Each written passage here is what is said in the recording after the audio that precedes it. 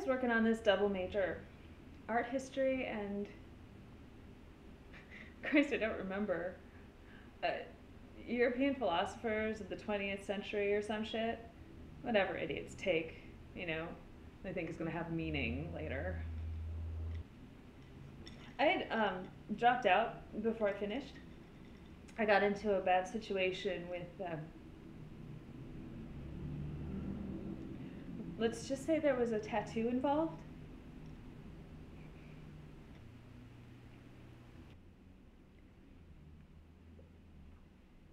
And so she was kind of blitzed, drunk. Oh. Dave, Jesus Christ. Anyway, he's skulking around in the corner all by himself. I don't think anyone even knew he was there. The guy was practically invisible.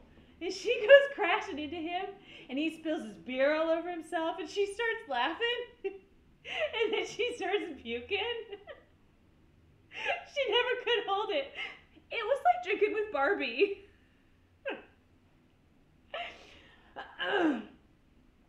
and then he's all nice and he helps her get cleaned up and he rides her home on the last bus and he gets her into bed.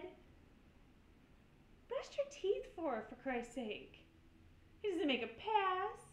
He doesn't rape her. I mean, really, he's a good guy. She could have done worse.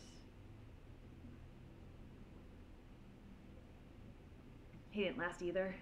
He got a job with some place and ran out of money. He wasn't really the college type, but she just needed somebody, and there he was, all shiny and new.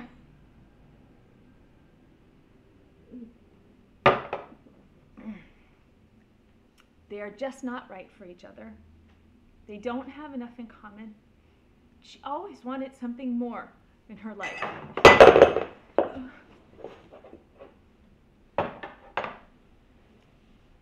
Now, why don't you just get the hell out of here?